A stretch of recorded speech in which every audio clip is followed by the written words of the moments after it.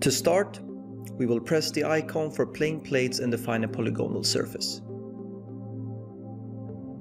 We will begin with the bottom plates.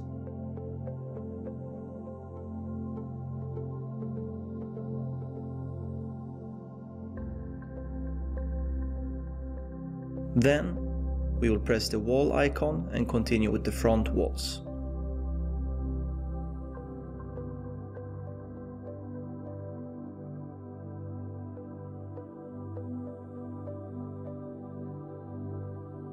After, we continue with the wing walls, which follows a circular shape that has been approximated with straight lines.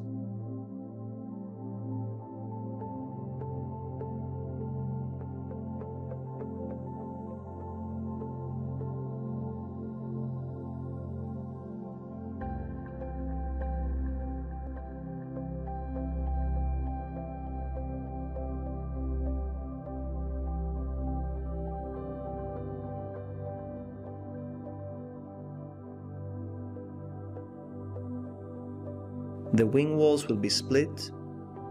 The exact geometry can be made according to the drawings. In this case, it is shown randomly by drawing a line along each element before splitting the objects. The same principle can be used for defining a slope along the top part of the wing walls.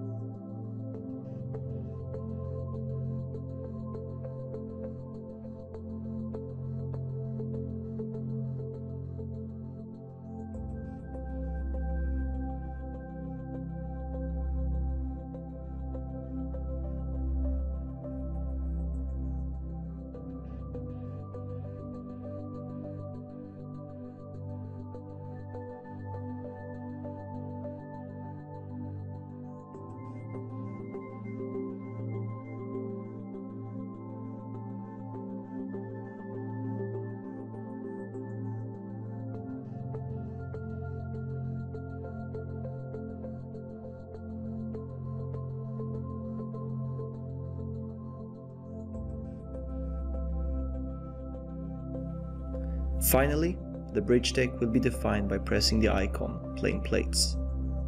Again, a polygonal surface is being defined before lifting the parts to their correct place.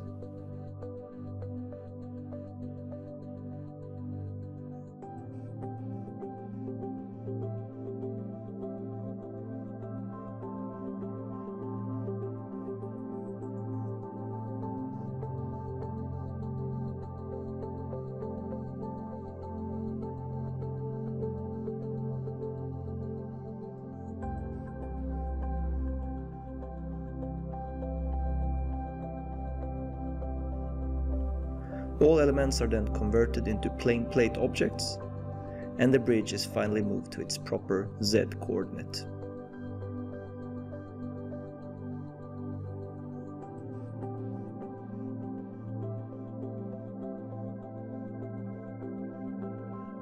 Before ending this lesson, the local coordinate system of shell elements is modified.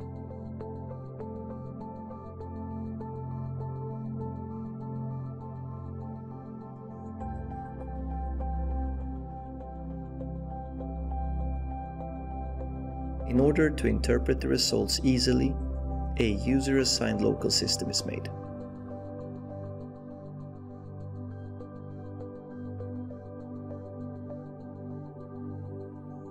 The local x-coordinate follows the longitudinal direction of the bridge.